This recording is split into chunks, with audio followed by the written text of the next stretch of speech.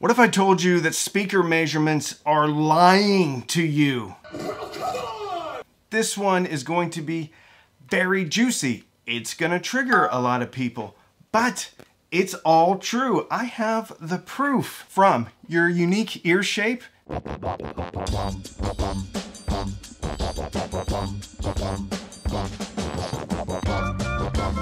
to how our brain evolved so we didn't get eaten by a saber-toothed tiger, or at least our ancestors, you might not even be here had it not been for good hearing. And yet, with all of this, we're told to trust graphs, that that's how the artist intended it to be. Well, I want to talk about that later. But if you skip this video, you may keep looking at graphs and thinking that's how you should choose to buy speakers. So sit down, grab a cup of coffee, and let's talk about why speaker measurements are lying to you. Before anyone freaks out, I am not trying to throw shade at any of the people that do measurements. Aaron's Audio Corner, I like that guy. Aaron's a nice guy. Audio Science Review, they do great stuff. Great stuff. My boy Ron over at New Record Day. But I've always known this, and I didn't know exactly why. That's why I went on a deep dive, did a bunch of research to figure out why I don't think there's an ideal speaker graph. And our ears are kind of like a thumbprint. They're all different.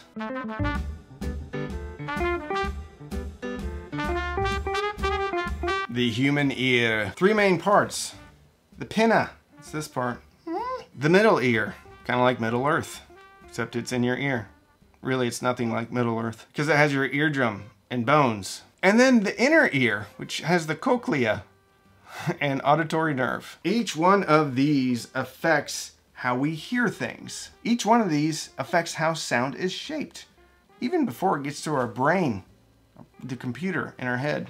However, before I bore you with some anatomy lessons, by the way, I took anatomy twice in college, one semester right after another, because I loved it so much. That's not true at all. It's because I didn't do well in it. But let's talk evolution.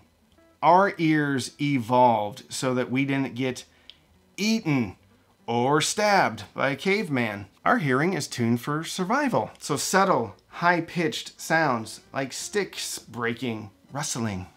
It's also that we didn't get eaten by a chupacabra or Bigfoot ripped off our arms and started beating us like a drum, making his own music for his hearing enjoyment. That's why our ears are naturally more sensitive between, I would say, 1,000 hertz to about 6,000 hertz, because that was the danger zone. The outer ear, the pinna, the pinna, it's how it shapes the sound that's coming in. Back in the day when people would lose their hearing, they would legitimately stick like a funnel. These are like funnels. The problem is we all have different funnels. Check this out. If you have a forward-facing pinna, you can hear high-pitched sounds better. High mid-range frequencies better. They can make some speakers sound bright. A wider pinna can actually make the same speaker sound warm, smooth, because it disperses the highs. A deep concha boosts, what is it, mids. Vocals can feel clearer. Large ears often mean a bigger soundstage. Middle Earth, or middle ear. We have three bones. The malleus, which is Latin for hammer. That's actually attached to the eardrum. The incus, Latin for anvil. It's the middle bone. And the stapes is Latin for stirrup. It's the smallest bone in the human body. So, there can be variability in the bones in our ears, which also equals variability in how we hear things. So these bones can be too stiff, which means they don't move well. So that can affect everything from perceived loudness of what's going on around us to things being basically muffled and even balanced between your ears. There's a condition called otosclerosis, which means the stapes bone gets fixed in place due to abnormal bone growth, leads to conductive hearing loss. Infections, chronic middle ear infections can damage or erode the ossicles. And trauma. When you get kicked in the head by a mule, you may get a little hearing damage or fall down a well. I feel like these are all farm related injuries. I don't know how often anybody gets kicked in the head by a mule in New York City. I'm sure it's happened though. Probably at a petting zoo. And then you have the inner ear. Inner. In her ear? Nope. In inner ear. The cochlea. it contains hair cells that convert vibrations to signals for our brain. And those hairs don't regenerate.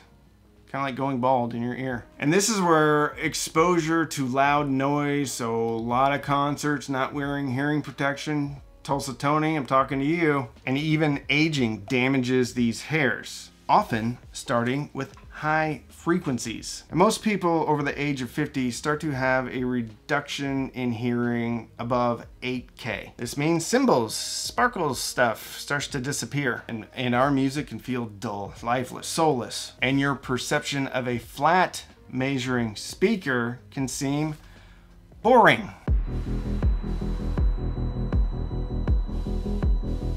And here's where it gets interesting, my friends. Thank you so much for watching. If this is your first time here or you're not subscribed, please consider subscribing if you're getting any value out of this video. You can always unsubscribe later. People do it all of the time. A flat measuring speaker, a neutral speaker. How many times have you heard you should get this because it's how the artist intended the music to be presented? However, unless your ears were exactly like the audio engineer's ears who mastered the album and your room is exactly like the studio, you're not hearing what they heard. It may sound right to them, but there is little chance that you are going to hear it exactly like the artist intended it. Because we're all different. Unique ear anatomy, unique hearing loss, we're all special in our own way. Even tiny changes like 1 or 2 dB can radically affect how we hear or how we perceive a speaker to sound. A dB or two at 2800 Hertz can sound really annoying. And that's me because my ears are different. I hear 1K to about 3K more than other people because of how my ears are made. Actually, how your shoulders are made, how you sit, all affects how you hear different things. So even your trunk anatomy affects how you hear things. If you have a bump between 4 and 6K, things can sound sibilant. If you got those wide ears or you've just got hearing loss, then anything north of 8K, it's going to seem gone, like it doesn't exist. Air, sparkle, shimmer. Some examples of beloved speakers that don't measure flat, but yet people still love. The Klipsch heresy. Most of the Klipsch speakers don't adhere to the straight line frequency response that everyone loves so much, except for me. to be fair, I don't like the, really like the Klipsch heresy either. The BBC LS5A, which is interesting because we were just talking about this speaker in my Patreon. By the way, if you want to join the best audio community on the planet, check out patreon.com slash cheapaudioman. Patreon only Discord, Patreon only Facebook group, Zooms on Sundays, some Sundays meetups too throughout the year. So that speaker is considered to be warm with a dip in the presence region. I don't exactly know where that's at. The Klipsch has peaky upper mids. Yes. Bright but energetic. I'd say it's very energetic. It's like my eight-year-old had four Pop-Tarts and washed it down with a Monster Energy drink. That type of energetic. The Harbeth P3ESR rich mids, rolled off highs. And the Zu Audio Dirty Weekend, the only thing it says is unapologetically colored and fun. A lot of the Wharfedale, the Diamond 11 series, very warm. In the comments, if you have experience with a speaker that you know doesn't measure flat, but you love it anyway, put it in the comments. So choosing a speaker, making a decision about a speaker based solely on measurement graphs is kind of missing the point. How do you figure out what your hearing is? How do you figure out the anatomy of your ear? How do you figure out or get an idea of your unique perception of sound?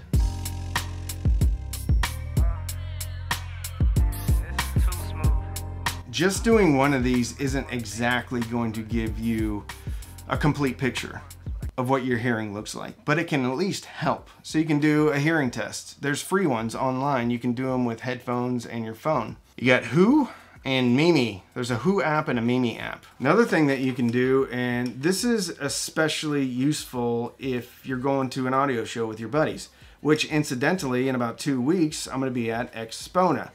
So if you're going to AXPONA, and I know some of my patrons are, you can go into a room, not say anything to each other, listen to whatever they're listening to, and then go outside and discuss your feelings or your impressions of that speaker. You can listen to pink noise, or I, I've listened to a tone generator. And if you have that thing hooked up to your system, you're probably gonna need a computer. And then you take the frequency slider and you just kind of move it. And if suddenly you hear a bit of a drop or a bit of a rise, you can kind of figure out okay, my hearing is deficient right here or I'm hearing extra right here. This isn't the best way to do it, but it is fun to figure it out and it's free. You can do it today. And obviously you can experiment with EQ, especially when you get the results of what your hearing test is. Then you can go in, if you have something like a WiiM Ultra, you can start making adjustments based upon what the hearing test revealed.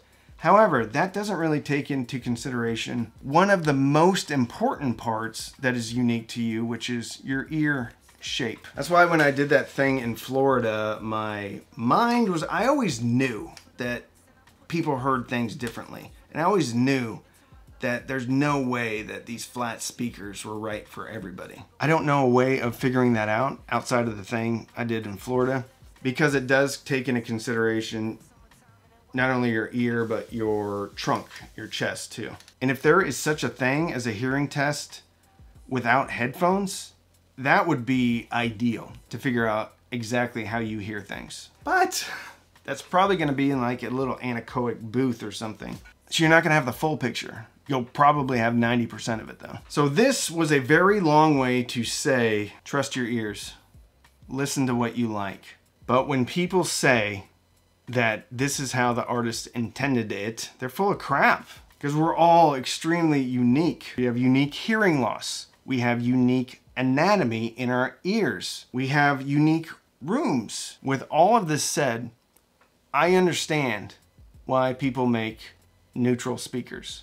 Because how are they gonna know what your hearing is like? But I am sure that there is data that can tell manufacturers this is where most people have hearing loss at a specific age.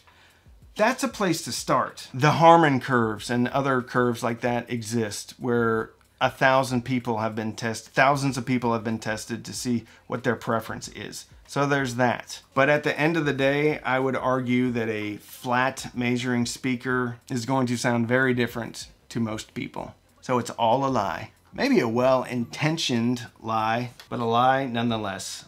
Don't feel like you have to like a speaker because other people tell you you should.